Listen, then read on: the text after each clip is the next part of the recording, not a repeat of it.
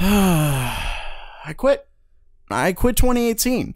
First, I can't buy a GPU while maintaining my organs. Then, I can't buy memory, and now it's a CPU. So, when is this one gonna be over? Stay tuned.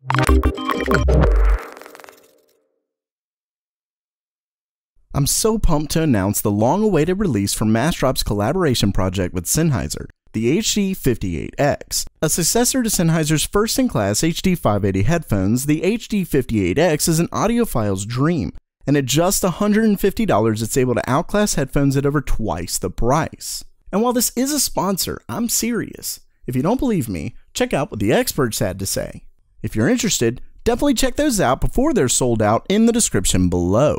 Welcome back to GamerMeld. Intel's 8th generation desktop processors delivered the first bump in core count across the board since the Core brand's inception all the way back in 2008. Coincidentally, it preceded the unbelievable announcement of AMD's Ryzen. Needless to say, Intel's 8th generation was a much needed performance increase that, for the first time in a decade, gave previous Core owners a very serious reason to upgrade, and sales have been reflecting that with the i7-8700K at the top of that list. What do you know? When you make a good product, users buy it. Okay, before Ryzen they didn't have to innovate to still sell, but regardless. It's been nearly a year since the 8700K came out, so why the hell is its price continuing to skyrocket?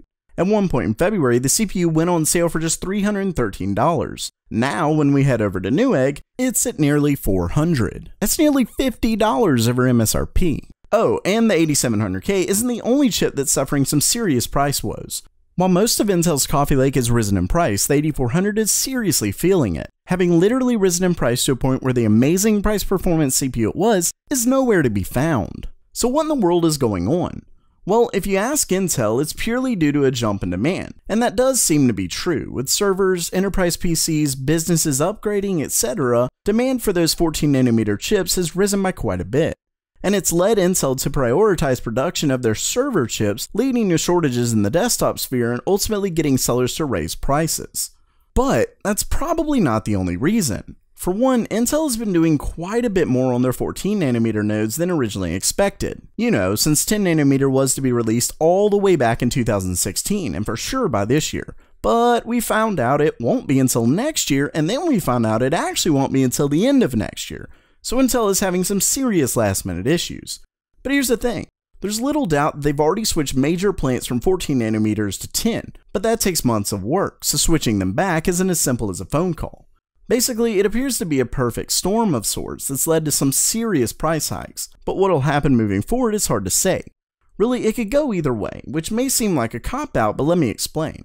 First, there's Business Insider, which reported on RBC Capital Markets' lowered market price for Intel, the firm had this to say, quote, we think the impact of shortages could magnify in Q4, which normally sees strong seasonal demand. That's definitely not good news for someone hoping to ride this new price jump wave into a price drop. With that said, Intel has made it clear that they're working to solve the problem. Besides spending a billion dollars to expand 14 nanometer production, Intel is also moving some chips over to 22 nanometers so they can free up more space for the chips that have to be on 14. So yeah, Intel is clearly working hard to fix this, but whether they'll be able to before the holiday season or not is really hard to say. In the meantime, I'll definitely say that Ryzen's prices have only been getting better, so anyone considering Intel could certainly find their home over on AMD's platform. Of course, if you're looking for a great headset, don't forget the HD58X. So while that does it for today, what do you think? Were you wanting to grab an 8700K but don't know what to do? Let me know down in the comments below. And as always, have a great day.